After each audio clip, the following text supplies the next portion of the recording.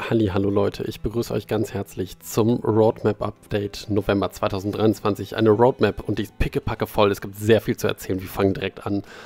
Ähm, es gibt erstens die, endlich, die Erleuchtung, was uns Rivet Games baut, nämlich die Bernina Line von Tirano nach Hospizio Bernina, gebaut von Rivet Games und wird auch schon bald erscheinen.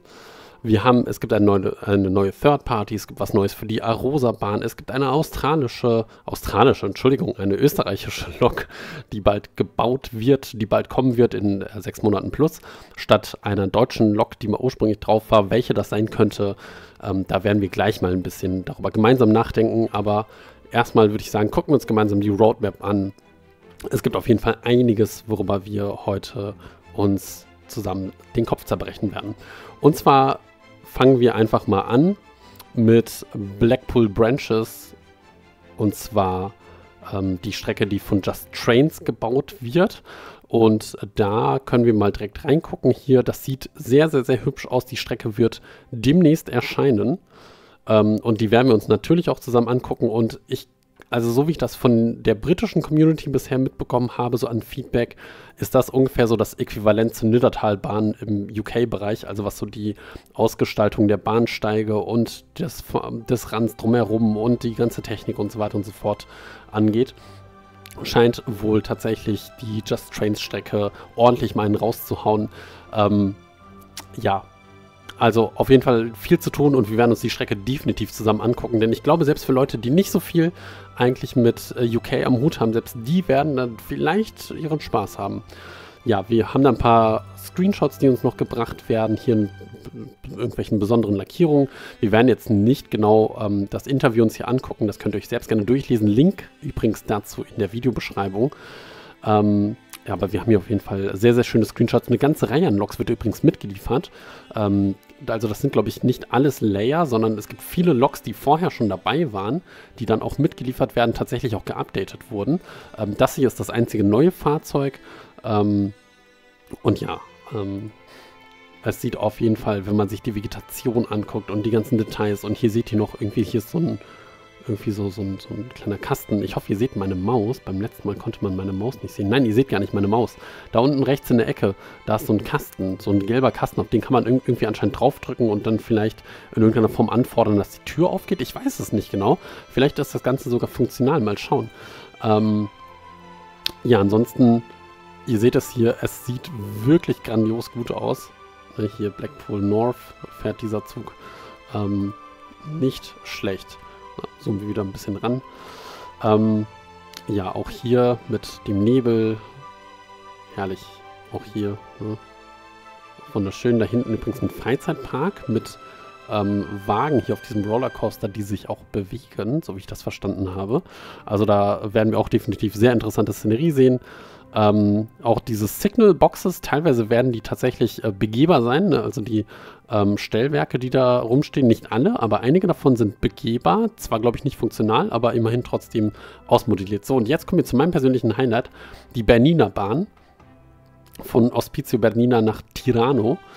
Und ja, guckt euch das mal an. Also da muss ich wirklich sagen, Hut up Rivet Games, das ist gar kein Vergleich zu Arosa, das ist schon deutlich, deutlich besser. Auch hier, wie die Berge aussehen, das ist um einiges besser als äh, dabei ähm, Arosa. Das liegt daran, dass unter anderem jetzt leider Daten zur Verfügung standen und benutzt wurden. Das Einzige, was mir hier ein bisschen negativ auffällt, ist, dass diese Wolke anscheinend in diesen Berg da hineinragt, aber ich weiß gar nicht, ob man sowas überhaupt beeinflussen kann. Ähm, aber das wäre vielleicht so als kleines Feedback noch an dieser Stelle dazu. Ja, hier links übrigens der Lago Bianco. Ähm, also ich glaube der Weiße See im Grunde genommen. Ähm, fangen an bei einer Höhe von über 2253 Höhenmetern über dem Meeresspiegel und ähm, es gibt Steigungen von bis zu 7%, was einfach unglaublich ist für eine Standard Adhesion Railway. Also ne, keine ähm, Zahnradbahn oder so, sondern es geht ja nur um Adhäsion. Und da, also da muss man nochmal sagen, da hat Rivet Games, Rivet Games wirklich ihr Game abgesteppt ähm, dass hier die Berge so aussehen, das ist gar kein Vergleich zu Arosa. Ähm, auch interessant, dass die Einheitswagen wieder mitgeliefert werden. Ich hoffe mit überarbeitetem Sound und wir sehen hier schon den Zug, um den es hier gehen wird, der eigentliche Held. Und zwar, ja, ge ge gehen wir gleich drauf, aber ihr seht es hier schon, das ist der Allegra. Ähm, ja, übrigens Weltkulturerbe. Ich glaube, die gesamte Strecke ist sogar Weltkulturerbe. Die Berliner Bahn selbst ist gar nicht Teil der RHB ähm, Kernstrecken, sondern ähm, ist, glaube ich, also steht da, glaube ich, außerhalb ähm, dessen. Die RHB hat ja drei Netze, deren Kernstrecken, deren Kernnetz, Arosa und Bernina. Und jetzt haben wir halt Arosa und Bernina. Ähm, und das hier ähm, ist, was ist das? Genau, das ist, glaube ich, wenn ich das jetzt richtig verstanden habe, Tirano. Und damit das erste Mal übrigens Italien im TSV. Hallo, ciao, Ila Italien. Freut mich sehr, dass äh, endlich auch ein weiteres Land damit, auch wenn es nur wirklich ein paar Meterchen sind, aber endlich mal ein weiteres Land im TSV. Ähm, Italien, herrlich. Ich hoffe, da kommt noch mehr. Jetzt nicht äh, Standard, ähm, beziehungsweise nicht ähm, RHB-mäßig, sondern gerne noch italienische Züge so normal. Es ist auch wunderschön, aber mal gucken. Ähm, dann hier ganz wichtig, das Kreiskehr-Viadukt. Ähm, auch, glaube ich, UNESCO-Weltkulturerbe. Ähm, also hammermäßig. Das sieht wirklich, wirklich schön aus. Auch wie die ganze Szenerie hier drumherum ausgestaltet ist, die ganzen Details, die Vegetation zumindest vom Nahen sieht ganz gut aus. Die Bäume so ein bisschen in der Ferne, da bin ich mir noch nicht ganz sicher, wie gut die aussehen, ehrlicherweise. Auch hier so ein bisschen komisch verwaschene Texturen, aber das sieht, aber das ist halt erstens Work in Progress, zweitens ist das sehr weit weg. Ähm, drittens sieht das trotzdem hier zum Beispiel sehr, sehr gut aus. Also da, da so oben links, ach ja, ganz vergessen, ihr seht ja meine Maus nicht. Ähm, das hätte ich vielleicht vorher einstellen sollen. Naja, auf jeden Fall Kreiskehr-Viadukt. Ähm, hat auf jeden Fall Einzug erhalten in den TSW, ganz, ganz berühmt. Vielleicht die berühmteste Stelle tatsächlich äh, überhaupt auf der ganz gesamten Strecke. Und es sieht meines Erachtens sehr, sehr schön aus. Und das ist unser Held des Tages, der Allegra-Triebwagen. Und ja, hiermit ähm, Zugziel nach Tirano ähm, 3504, Ferrovia Retrica, glaube ich. Ähm, sieht sehr, sehr hübsch aus. Das Modell sieht wirklich gut aus. Das Modell beziehungsweise der Zug war ja schon im Train Simulator sehr, sehr gut von Rivet Games und ich habe die Hoffnung, dass er auch im TSW sehr gut wird. Scheint auf jeden Fall bisher sehr schön auszusehen. Und was auch sehr cool ist, ähm, wir haben vollautomatische Ansagen. Und zwar in drei verschiedenen Sprachen, die da auftauchen. Also es gibt zwar einerseits das, was wir aus Edinburgh, Glasgow kennen, wo man halt eben selbst was bedienen kann, aber es gibt auch eben automatische Ansagen, Ansagen vermutlich auf Deutsch. Ich denke auf Italienisch vielleicht und auf Rätoromanisch oder auf Französisch oder auf Englisch. Ich bin mir nicht ganz sicher. Also ich denke, Deutsch wird auf jeden Fall mit dabei sein. Bei den anderen beiden Sprachen bin ich mir gar nicht so sicher. Es könnte wirklich Italienisch, Englisch, Rätoromanisch oder Französisch sein. Also zwei davon werden es dann wohl auf jeden Fall sein. Ähm, ja, also ähm, für Trains in World 4 und es dauert auch definitiv nicht mehr lange, bis die Strecke veröffentlicht wird. Die sieht schon sehr, sehr gut aus. Dann noch mal ein kleines Update zur Maintalbahn äh, mit einem Interview, wo Lukas Klimczyk ein bisschen spricht. Übrigens, Preis der Maintalbahn wird 29,99 Euro sein. Ähm, wir sehen hier die 642 der Westfrankenbahn, die sich hier auf diesem eingleisigen Abschnitt auf der Brücke befindet, in Doppeltraktion, in diesem abendlichen oder morgendlichen Licht. Da bin ich mir nicht ganz sicher. Ähm, und da muss ich sagen, sieht schon ganz hübsch aus, auch wenn ich mir nicht ganz sicher bin, ob der Lichttextton hier, ne? aber insgesamt scheint das Modell sehr, sehr viel herzumachen, meines Erachtens. Ähm, hier in Sulzbach am Main, die Westfrankenbahn stehend, sieht sehr, sehr hübsch aus. Auch die Gestaltung drumherum, die Gebäude, das sieht schon gut aus. Ja, was hat Lukas dazu gesagt? Lukas Klimczyk sagt dazu, dass äh, die halt wieder einen Dieseltriebwagen in den TSW bringen wollten. Ähm, das Problem ist, dass die meisten Stichstrecken bzw. Ähm, Branchlines, also ne, die ähm, nicht Hauptstrecken, die Nebenbahnen in der Regel nur so einen Zug pro Stunde haben. Ähm, und das wäre halt ein bisschen langweilig gewesen. Aber die Maintalbahn hat tatsächlich ein bisschen mehr zu offerieren. Auch ein bisschen Güterverkehr, leichter Güterverkehr ist auch mit dabei, mit der 363, die mitgeliefert wird. Ähm, und was ich nicht ganz, äh, was ich sehr, sehr cool finde, ist, dass ähm, es einen Mastery ähm, Award gibt. Und zwar ähm, wie ein Schiff von einer Werft praktisch ins Wasser gelassen wird. Also das ich glaube, man nennt es Aufstapeln oder so. Ich bin mir nicht ganz sicher. Irgendwas mit Stapeln. Und das ist wohl ähm, hier in, in Erlenbach ähm, dabei. Hat Lukas anscheinend selbst dort gesehen. Oder hat er in Erlenbach zumindest gesehen. Ähm, und anscheinend kann man da auf einer Brücke sitzen und äh, sich das Ganze angucken. Ähm, also es gibt bald mehr Details von der Maintalbahn. Also wirklich ich persönlich freue mich sehr auf den Triebzug. Ihr könnt mir gerne mal eure Meinung dazu schreiben in, eure, in die Kommentare, auch gerne zu der Strecke von Rivet Games.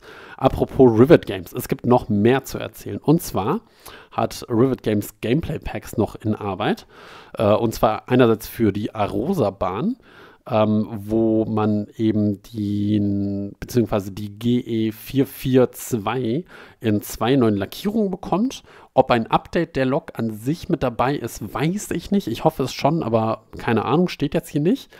Ähm, sehr interessant auf jeden Fall. Und ähm, dazu auch interessant, die RHB FAC-Wagen werden mit dazu geliefert. Hier mal ähm, also ein ähm, eine schematische Zeichnung davon von der RHB selbst. Das ist hier so ein Wagen, der hier mitgeliefert wird. Ähm, wir sehen es hier 22 Kubikmeter Ladevolumen und so weiter und so fort.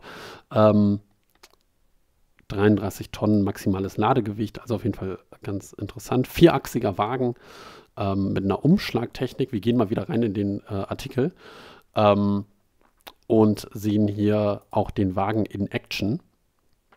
Wir sehen hier, wie ähm, praktisch Gleisschotter anscheinend ähm, gelassen wird. Also kann man hier anscheinend so, so Gleisschotterarbeiten durchführen und das werden wir uns auf jeden Fall auch zusammen angucken. Dann Engineering Express, das ist ähm, ein Gameplay-Pack, ähm, das für Edinburgh Glasgow kommen wird. Also die andere Rivet Games Strecke ähm, mit der Class 66 in zwei verschiedenen Lackierungen. Einmal in dieser One-Lackierung und einmal in Direct Rail Services Blue. Haben wir jetzt keinen Screenshot von. Ähm, das wird da kommen und dann gibt es da entsprechend, glaube ich, dann auch ein paar hier fünf zusätzliche Szenarien, die da kommen werden. Ähm, das gibt es also auch und es gibt einen neuen Emergency Adapter Coupler for the Class 66, also to drag the Class 385. Also es gibt da so eine Art zusätzliche Kuppelinstanz, die dann äh, bei der Class 66 aufgesetzt wird. Ähm, und damit kann, kann, man dann auch so einen Triebwagen wie die 385 ähm, durch die Gegend fahren. Ähm, interessant auf jeden Fall. Äh, Preis dieser, also die Gameplay-Packs werden äh, beide am 21. November kommen, also auch schon sehr bald, noch in diesem Monat.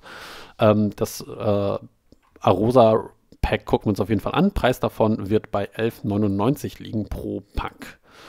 Ähm, dann, es gibt eine neue Third-Party, Simtrack Studios ähm, ein Studio, das so bisher noch nicht existiert hat. Die Leute haben sich so aus der Community zusammengefunden. Also wenn man die googelt, da findet man jetzt erstmal nichts. Ähm, und äh, die werden erstmal jetzt ein britisches DLC veröffentlichen, nämlich die Class 323 in Regional Railways Livery, also in diesem wunderschönen Grün hier. Also gut, ob es wunderschön ist, sei jetzt mal dahingestellt. Ähm, aber das wird auf jeden Fall erstmal als, neue, äh, als, als neues DLC dann kommen. Und die Pläne sind auf jeden Fall groß. Ähm, das ist übrigens dieser bisher unbekannte Partner auf der Roadmap gewesen. Ähm, und hier steht, we're not done introducing color and this time it will be a splash of BR Green. Heißt also, da wird auf jeden Fall mehr kommen. Und da ist jetzt auch interessant die Frage, die gestellt wurde, ob ähm, ob Simtrack Studios nur auf UK fokussieren wird oder auch was außerhalb dessen kommt. Und äh, da die Antwort sehr interessant, dass our aim was always to provide a variety of content. Also wir wollen eine, eine möglichst viele verschiedene Sachen haben und dass das nicht nur limitiert ist auf ein einziges Land. Denn das Team besteht selbst geografisch gesehen aus Leuten, die anscheinend aus verschiedenen Ländern kommen. Also nicht nur aus UK. Und dementsprechend gibt es auch verschiedene Interessen. Und we plan on making use of these interests to bring a variety of content. Heißt also, wir können uns auf jeden Fall auf mehr freuen und von anderen Ländern. Das könnte also durchaus Amerika sein, halte ich für möglich. Deutschland könnte es definitiv sein. Es wird jetzt kein Land sein, das wir noch nicht im TSW haben, außer die bauen wirklich eine Strecke. Aber wir haben ja nur, also die können ja nur Fahrzeuge liefern für Länder, die wir haben. Es könnte also Deutschland, Frankreich, Österreich, Ita ähm, nicht, nicht, Italien, ähm, Schweiz und ähm, ja, genau, da, das könnte es halt sein. Und es gibt noch einen kryptischen Teaser, der da ist. I think it's safe to say the interview has peaked here. It's time for us to put the kettle on. Ich persönlich verstehe nicht genau, was damit gemeint sein soll. Ne, the kettle, also der, der Wasserkocher.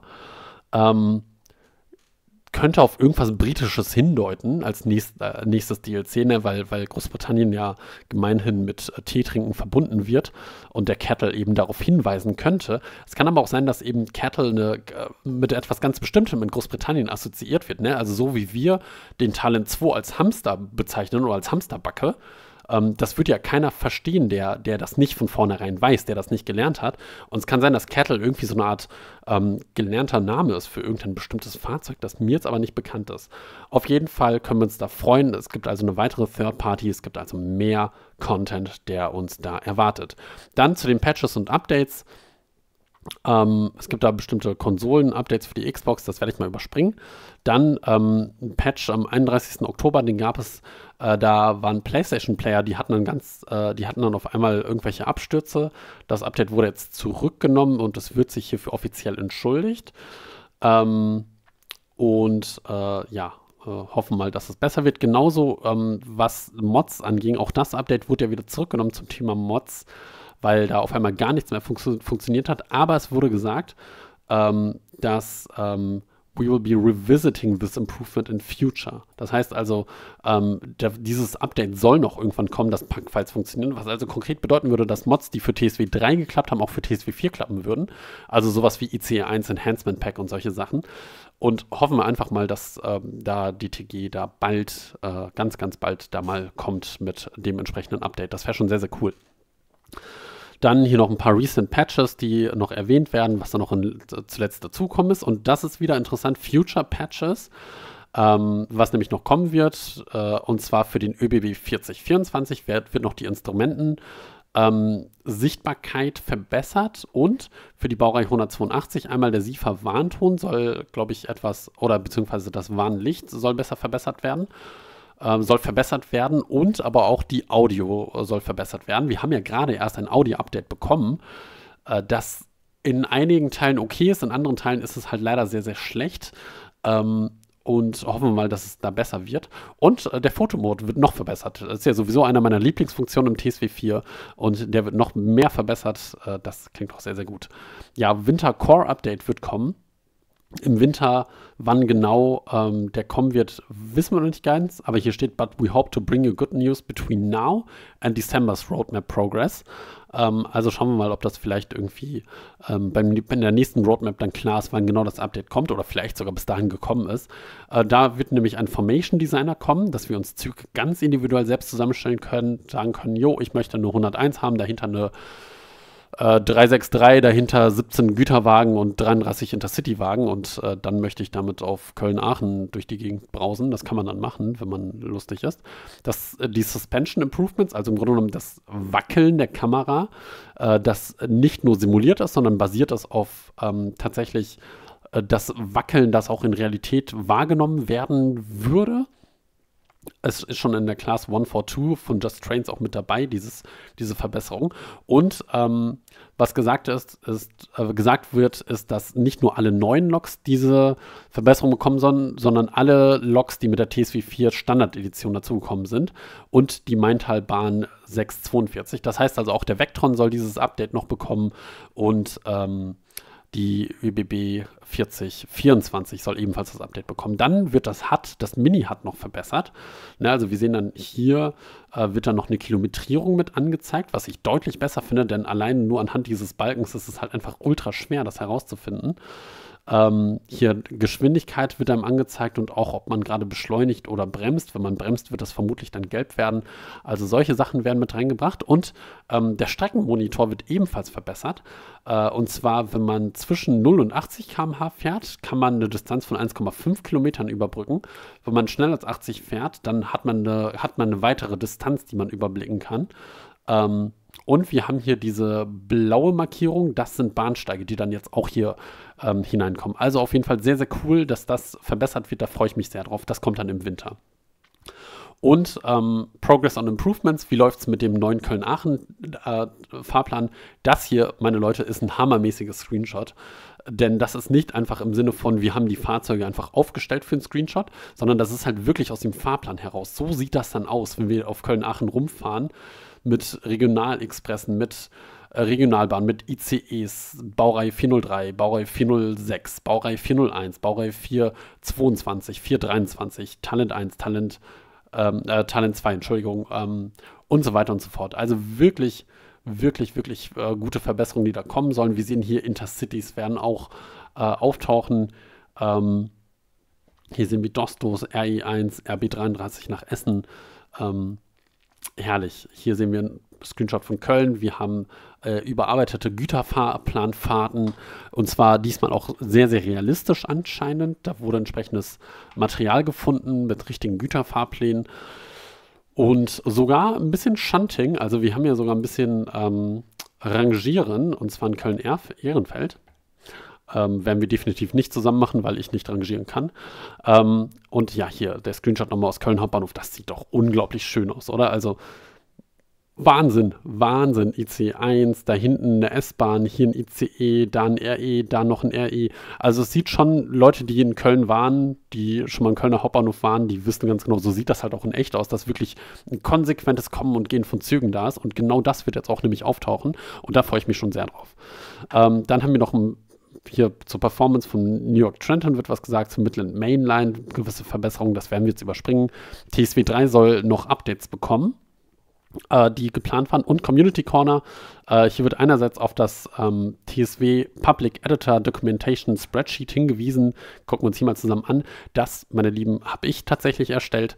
Ähm, worauf hingewiesen wird, da ist auf jeden Fall mega cool, dass da ähm, der Hinweis kommt. Ähm, und auf, auch auf meinem YouTube-Kanal finde ich auch sehr, sehr nett von den guten Herren von DTG und auch von den Damen von DTG.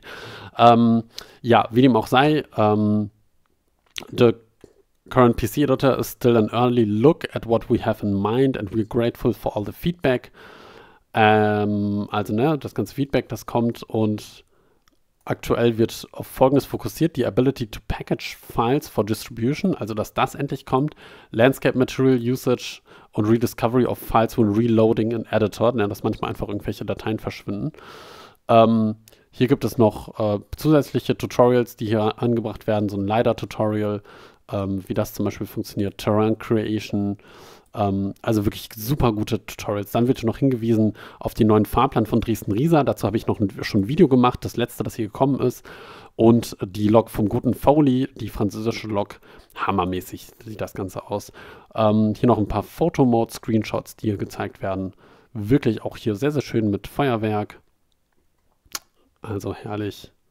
Bisschen Gewitter, keine deutschen Logs dabei, okay. Um, ähm, TC4 Soundtrack. As mentioned in our Scotsman Vectron Out Now article, everyone can now listen to all nine tracks of the official Trains World Forge soundtrack by heading over to their favorite music platform, including Spotify, Apple Music, iTunes, Amazon und plenty more. Heißt also, der Soundtrack ist jetzt auch veröffentlicht, könnt ihr euch gerne anhören. Und das war es heute Abend, der, äh, das Roadmap-Video, das dann entsprechend noch kommen wird auf YouTube mit Matt und Alex. Und ja, dann bedanke ich mich bei euch fürs Zusehen. Das war jetzt ein recht langes äh, Update von der Roadmap. Äh, fast 25 Minuten, die ich hier gequatscht habe. Lasst mich gerne in den Kommentaren wissen, worauf freut ihr euch am meisten? Äh, was sind eure Gedanken zu dieser Roadmap? Ich bin sehr, sehr, sehr gespannt auf Diskussionen mit euch und eure Meinungen. Alles Gute, alles Liebe. Ciao, ciao.